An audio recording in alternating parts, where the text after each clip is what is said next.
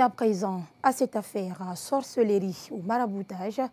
On ne saurait décrire très exactement ce dont souffre Maïmouna Folidialo euh, depuis des années maintenant. La souffrance l'a poussée à sortir de sa réserve pour mettre au grand jour les actes subis par ceux qu'elle décrit comme ses bourreaux censés pourtant être euh, ses parents directs.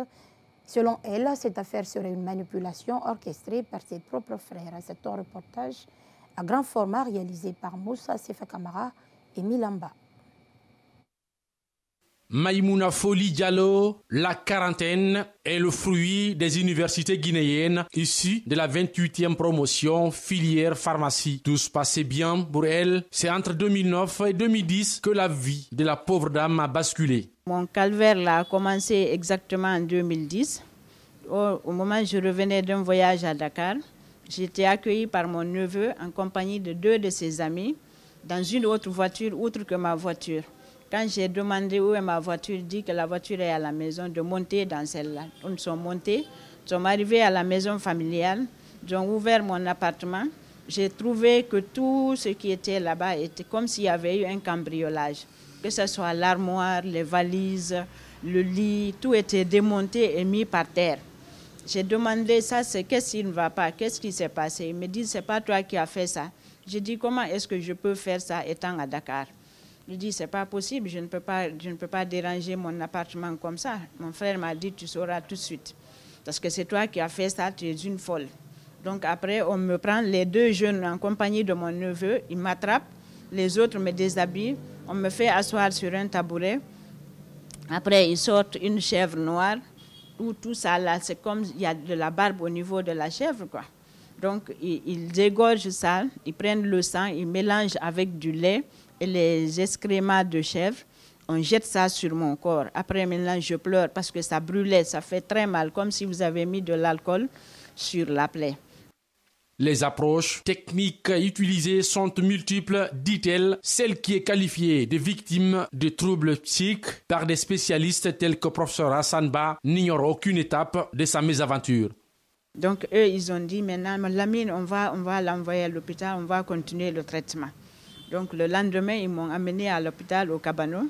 Quand j'ai essayé d'expliquer tout ce qui s'est passé là au médecin, le médecin me dit, ah, c'est le premier signe de la maladie, c'est ce qu'on appelle les, les, les, les, hallucinations. C'est elle seule qui voit des choses qui ne sont pas normales, donc il faut qu'elles soient traitées. Donc à partir de ce jour, ils m'ont injecté du diazépam, du Olanzor, du tertian, beaucoup même, les ordonnances sont là, vous pouvez les voir. Donc ils m'ont interné là-bas pendant deux mois, deux semaines. Deux mois, deux semaines. La pharmacie là, été toujours fermée.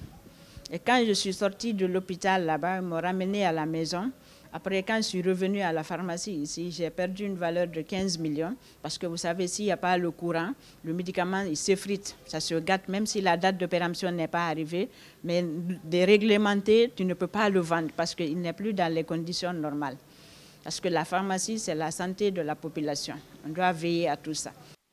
Tellement le degré des exactions était élevé et inhumaine, Maïmouna Foli Diallo a tenté de se rapprocher des sages et parents afin de voir clair avec ses frères consanguins. J'ai demandé les sages et les vieux, les parents. J'ai dit, ah, est-ce que M. Mamadou Lamine Diallo, Alpha Bakar, Youssouf et autres, est-ce que nous sommes des frères? Est-ce que nous sommes de même père, même mère? Ils me disent oui, c'est Hadja Adam qui est votre mère et c'est Tierno Mamad qui est votre père. C'est toi là, Benjamin. Parce que c'était tellement cruel que je ne pouvais pas imaginer qu'un frère de lait puisse te faire de ces choses aussi horribles. Pour éclairer la lanterne de l'opinion publique, elle a mené des démarches auprès de la justice pour être rétablie dans ses droits les plus élémentaires. Et quand la présidente m'a vue, elle dit Ah, c'est elle, docteur Maimouna Foli Elle dit Non, mais je n'en crois pas. Parce que moi, on m'a dit qu'elle mange maintenant à la poubelle. Donc elle était vraiment ébahie et étonnée. Tout de suite, elle a émis une ordonnance qui interdisait l'administration des substances euh, psychiatriques. Et en même temps, elle a ordonné à ce qu'un collège de médecins siège pour, autour de mon, dossier. Donc c'est ainsi qu'ils ont fait, je ne sais pas comment on appelle ça, si c'est une lettre au niveau du professeur Hassanba. Donc, malheureusement, le professeur Hassanba a confirmé le rapport du médecin, soit disant que j'ai une démence, qu'il faut qu'on me traite. Maïmouna Foli Diallo n'en croit pas toujours, c'est pourquoi elle exhibe ses preuves irréfutables pour apporter un démenti sur les allégations proférées à son égard. Je n'ai reçu aucun soutien. En 2019, mon frère Alpha Bakar m'a dit Écoute, on va t'aider maintenant, comme tu es en faillite, j'ai un terrain à Sonfonia, il faut le revendre, après je te ferai, je te ferai redémarrer ta pharmacie. Ils voulaient que, parce qu'ils savent que je suis capable, donc j'ai revendu ça à 950 millions. Sur les 950 millions, il m'a donné aucun franc. J'ai même fait, il m'a dit de faire une demande, j'ai fait la demande là, mais il m'a jamais répondu. Donc quand ils ont besoin de moi, pendant ce temps-là, je ne suis pas folle. Vous comprenez? Ils utilisent mes capacités et mes compétences.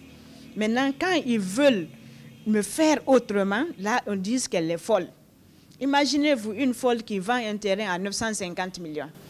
Maïmouna Foli Diallo a décidé de rompre avec le silence pour qu'elle puisse recouvrer sa santé, avoir sa liberté. Malgré toutes ces difficultés, elle continue d'exercer sa profession de pharmacienne et cela en toute simplicité.